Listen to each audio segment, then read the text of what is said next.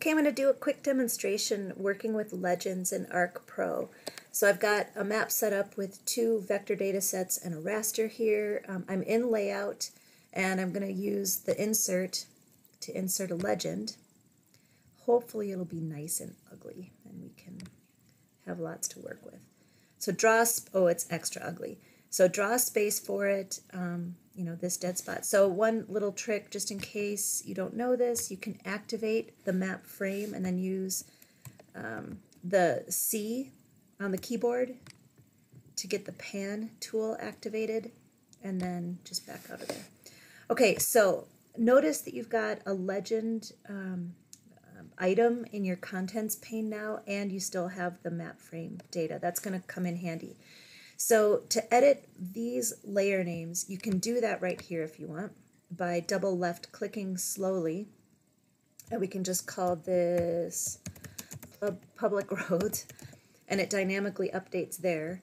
Um, you can also quick double left click on it to get into the properties.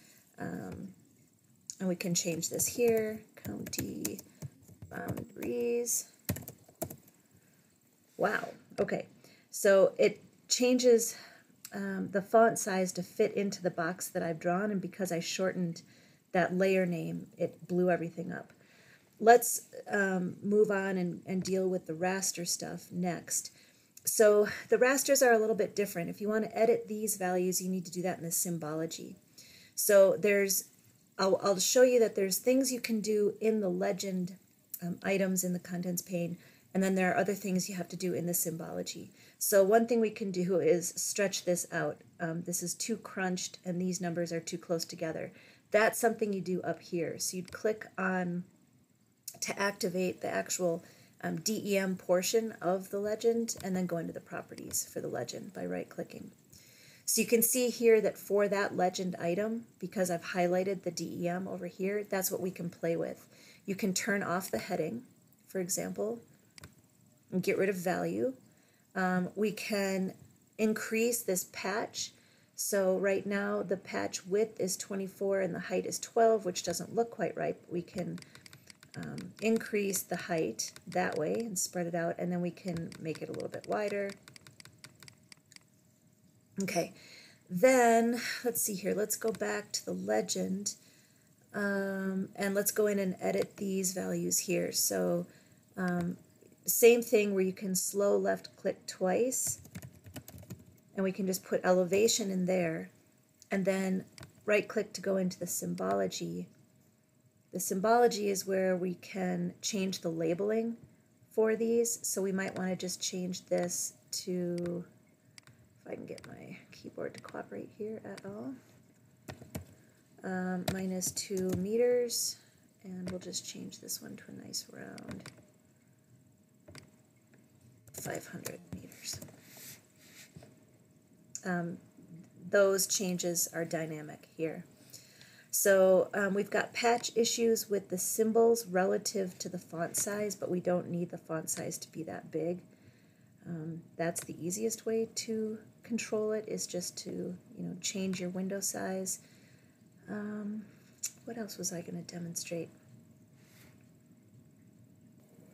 Okay, so I resized this a little bit to give us more room um, vertically because I want to put some space in between these. You can kind of um, fiddle around with it.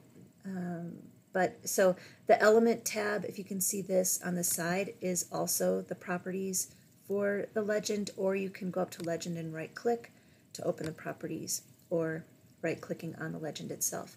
So the spacing between the items here is what you'd want to increase. So you could just jack that up to 30 and you can see it's spacing these out a little bit. I'll do it some more. So I'm just increased it to 40 and now there's more space between here. Um, you can mess around with all these to see what they do. Um, space between the labels and descriptions, uh, layer names and the items below. Doesn't really do anything. Patches in the text. Ooh, that was nice. And then the title. We don't have a title. Okay, and then if you want to make these symbols a little bit wider, you can do that just selecting these two, uh, right-clicking, going into the properties. Those are the two vector layers. And under the patch width, you can make those a little bit wider so that they show up a little bit better. Okay, that's Legends in a Nutshell.